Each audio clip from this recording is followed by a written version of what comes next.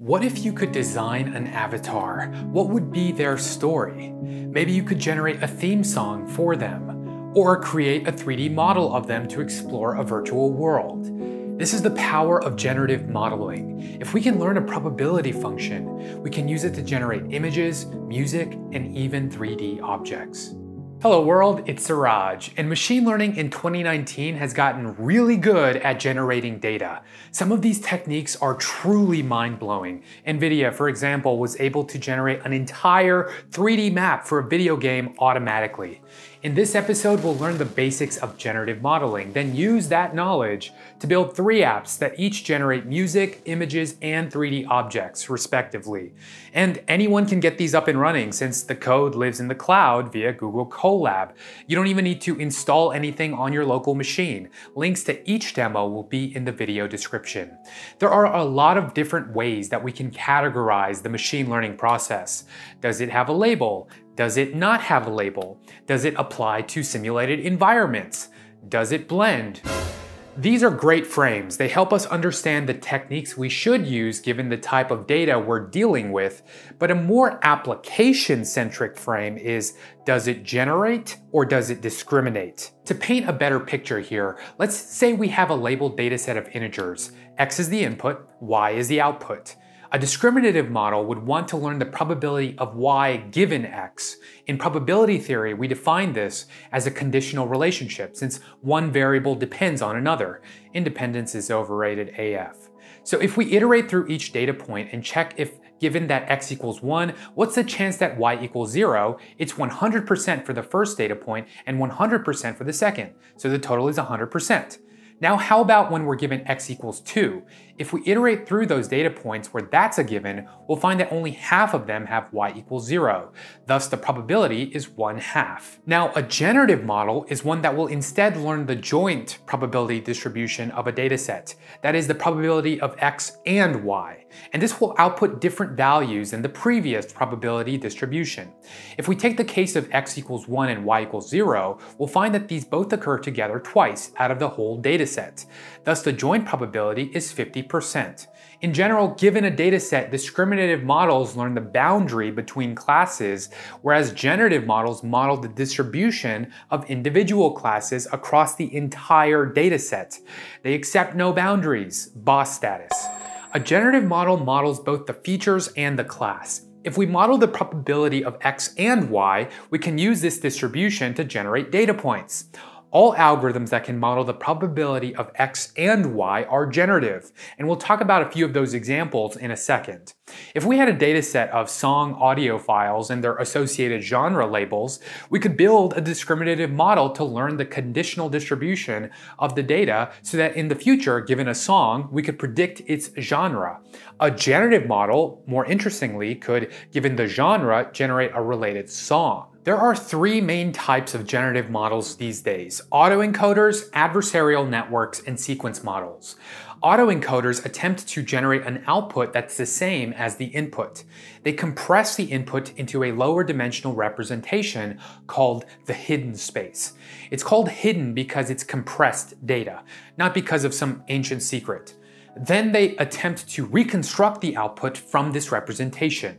We'd use two neural networks here, an encoder network that learns the probability of the hidden space given the input, and a decoder model which learns the probability of the input given the hidden space, which will reconstruct the input as the output. Adversarial networks involve a generator model that learns the probability of x given the learned hidden space h, where x is the input and a discriminative model which learns the probability of y given x, which tries to associate an input instance x to a yes-no binary answer y about whether the model generated was a genuine sample from the dataset we were training on or not. The counterfeiter versus the detective, and both improve over time.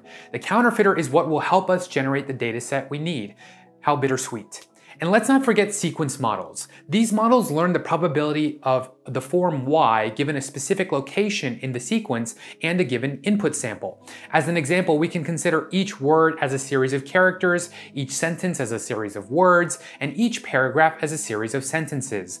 The output y could be the sentiment of the sentence. Using a similar trick from autoencoders, we can replace y with the next item in the series of the sequence, namely y equals x plus 1, allowing the model to learn. Let's now go through how these models work in practice. First, I found this really cool Google Colab for generating piano songs.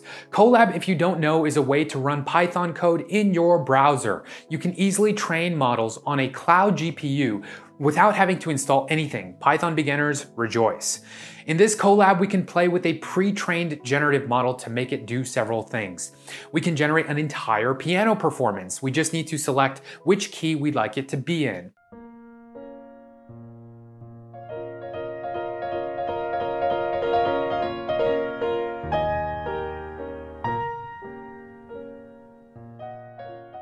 And given some initial notes, we can generate the rest ourselves. We can even generate an accompaniment for a given song. You can imagine how we could download this pre-trained model, then use it inside of a web or mobile app to serve people. We could create a music making tool for artists or a music collaboration social network or we could just generate our own unique theme song without needing to hire a professional. The team at Google made this possible by using a type of sequence model that's very popular lately called the transformer model. Their whole process was pretty clever, starting with how they generated the dataset to learn from. They started with a collection of YouTube videos that all had a license allowing for their use. Then they used a model to classify those videos that only contained piano music nothing else. Their classifier was trained on AudioSet, an audio dataset that contains over 600 event classes and a collection of over 2 million 10 second sound clips drawn from YouTube videos. Hopefully not ASMR videos though. Super useful dataset by the way, they use its piano data to learn the sound of piano music in general, no matter the order of the notes, and collected hundreds of thousands of piano music videos as a result. They then converted those audio waves into symbolic MIDI format, which represents musical notes digitally. Within 10k hours of symbolic piano music, there is more than enough for a machine to learn how to play the piano. The transformer Network has an encoder and a decoder. It's a sequence model. Input a sequence of notes, and it outputs a sequence of generated notes.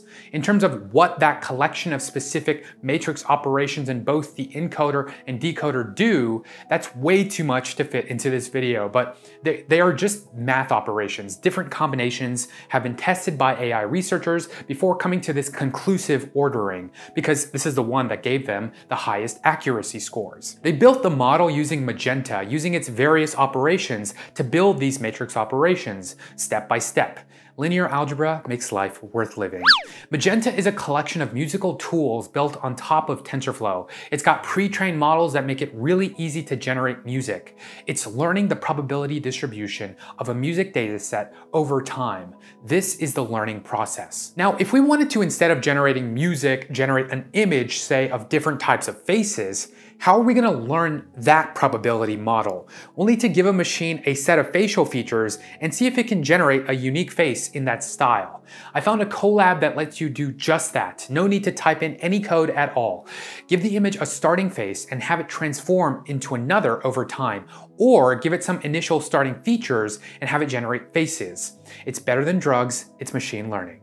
It's using a ProGAN or Progressive Growing Generative Adversarial Network. NVIDIA released one of the coolest papers ever when they announced it. It takes the idea of a GAN, but introduces a unique training technique for it.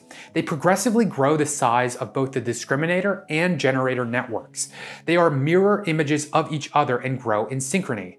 New layers are added to the networks over time while it's training on an image dataset.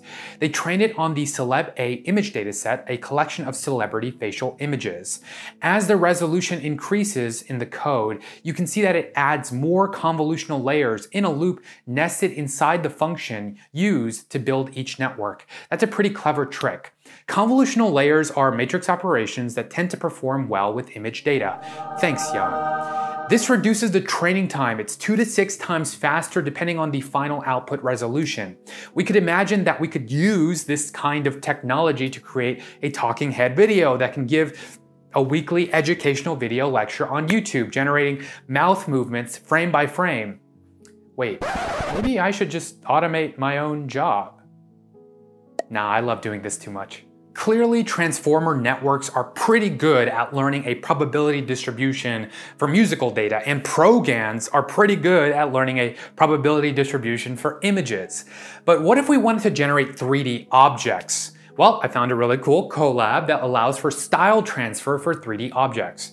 Basically, you give the network a 3D object and a related image, and it'll generate a new 3D object that's in the shape of the input and the style of the related image. What a cute little paper demon bunny.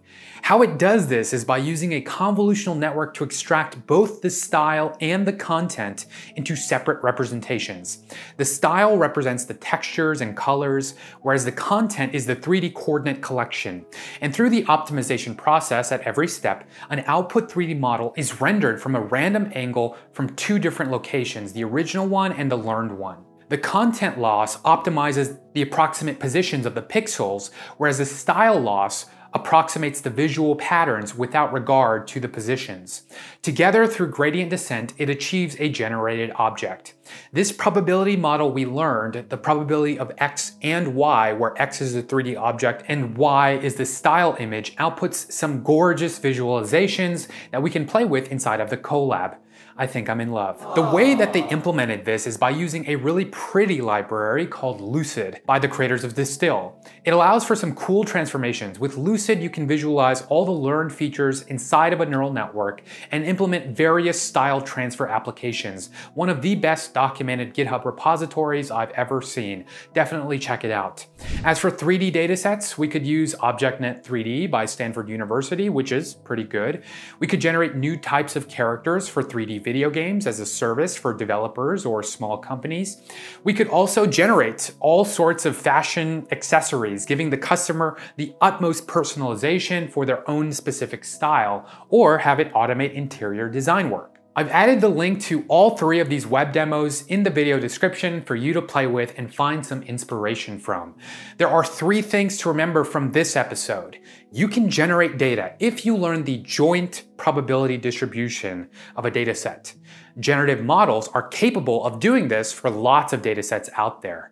And some examples of generative models are adversarial networks, transformers, and convolutional networks.